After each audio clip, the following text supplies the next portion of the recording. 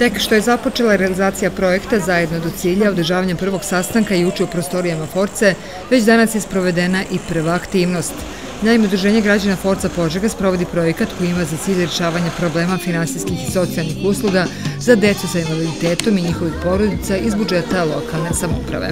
U okviru projekta Zajedno do cilja danas smo izašli na trg da prikupimo što više potpisa kroz peticiju da bi deca sa invaliditetom dobila više novca iz budžeta opštine za svoj dnevni boravak da bi mogli bolje da provode svoje vreme.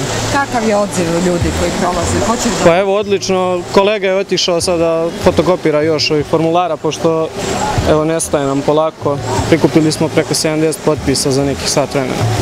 Očekujemo da će biti više još malo kasnije. Projekate zajedno do cilja podržava BCIF, Evropska unija i Ministarstvo rada i socijalne politike Republike Srbije.